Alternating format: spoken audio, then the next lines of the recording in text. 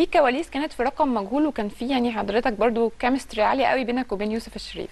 يوسف آه يوسف بصي هقول لك حاجة.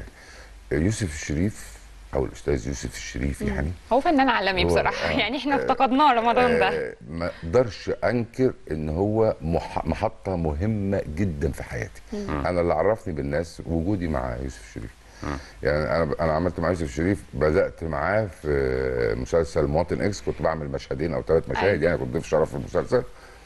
وبعديها دخلنا رقم مجهول مع بعض بعديها آه، رقم مجهول آه، اسمه مؤقت وبعدين آه، الصياد وبعدين لعبة إبليس. عملنا حوالي خمس حبيتوا الشغل مع بعض. آه كنا بنحب الشغل وهو يعني يوسف شريف كان دايما في كل مسلسل يقول أنا عايز تامر معايا أنا آه. بتفائل بتامر وأنا كنت بحبه جدا وما زلت طبعا بحبه صحيح. آه. فكانت آه، مرحلة مهمة جدا في حياتي ما أقدرش إن أنا أنكرها يعني لو في رمضان اللي جاي إن شاء الله مسلسل ليوسف الشريف يا ريت هو فيه إن شاء الله. في مسلسل تاني. هتروح لمين؟ هروح للاثنين اعمل الاثنين ده هتمر ولا إيه؟